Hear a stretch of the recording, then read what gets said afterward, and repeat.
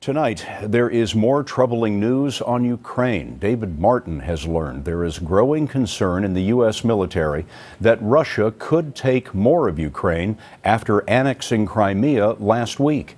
David is at the Pentagon for us tonight. David? Scott, no one knows what Vladimir Putin will do next, but U.S. intelligence analysts believe he may be preparing to carve out a land corridor connecting Russia directly with Crimea.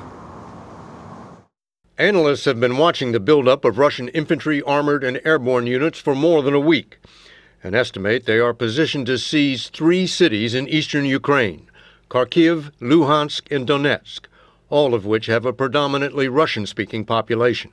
That would give Putin a direct route by which he could keep his newly acquired province of Crimea resupplied.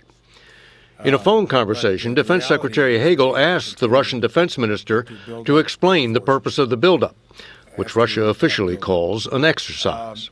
He told me that um, they had no intention of crossing the border into Ukraine. But no one is taking that to the bank since Putin is the one calling the shots, and it's unclear what, if any, influence the Russian defense minister will have. David Martin, thanks.